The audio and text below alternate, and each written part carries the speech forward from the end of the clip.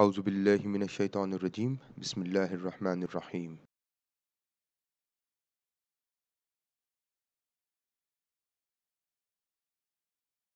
In the last sessions, we assessed the step one, that is multicollinearity, and we assessed structural relationships. Now, in this particular session, we are focusing on step three, that is explanatory power. So, step three of evaluating structural model.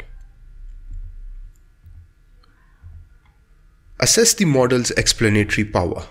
The next step involves examining coefficient of determination that is your R square of the endogenous constructs.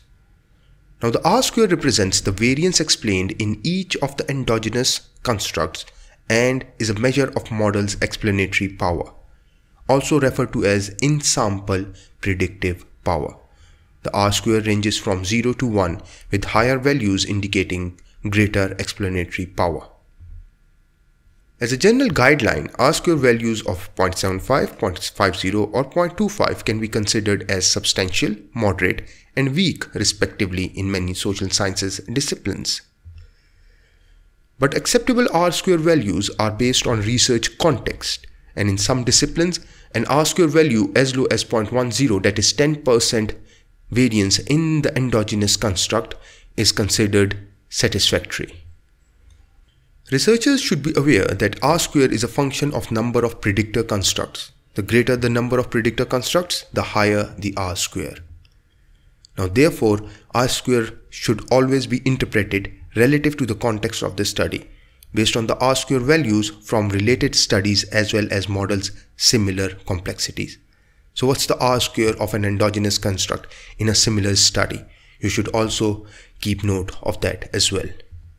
Now how do we assess the model's explanatory power? A limitation of R square is that the metric will tend to increase as more variables are added into the model. Now the adjusted R square metric accounts for this by adjusting the R square value based on the number of explanatory variables in relation to the data size and is seen as more conservative estimate of R square.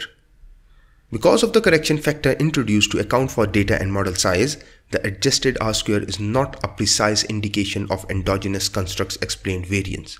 So what's the solution? In this case, researchers have asked to assess for F-square effect size and is like the size of the path coefficients. In step 3 of the structural model assessment procedure, we need to consider the model's explanatory power by analyzing the R-square of endogenous constructs and F-square effect size of predictor constructs. To start with, we need to examine R-square values of the endogenous constructs. The R-square value of collaborative culture. So where is this R-square? How do we get this R-square? So first, let's get this R-square. Let's copy and here is our model. And let's get this. So let's see the r square. Let's run it. And what's the r square? Let's look at this. The r square for collaborative culture is 0.608 that is 60% change in collaborative culture is being accounted by these three variables this is changed into percentage. Multiply by 100 so 60.8 percent change in collaborative culture is being accounted by these three variables here because these are the only three variables in the model. Now the r square value of collaborative culture as shown 0.608 can be considered moderate. Now where is your f square and how do we get our f square? So here is the output for f square but first let's see our f square output in r. So copy it okay I've got already copied. Let's run it. And look at the effect size here.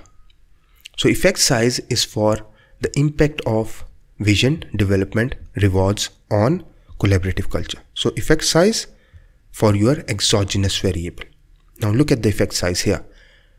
This is small and this can be referred to as or these two can be referred to as moderate. So what do we mean by f square now f square means that if we were to remove an exogenous variable, how does this impact the r square value? Is the impact small, medium or large? So how do we assess the small, medium or large impact? Now this is small because this is less than 0.15 and this is medium and anything above 0.35 can be regarded as large. Now removal of vision from this model will have a small impact on the R square whereas removal of development and rewards will have a more medium or moderate impact on the R square values. Now this is what we mean by R square and F square and this is how they are interpreted. In the coming videos we are going to discuss how to report these results in your research paper or thesis. Thank you very much.